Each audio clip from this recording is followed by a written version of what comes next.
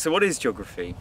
Got this book called Geography. Geography is all around us. Geography, geography, geography is earth writing. Geography, geography, geography, geographer's own elbow patches.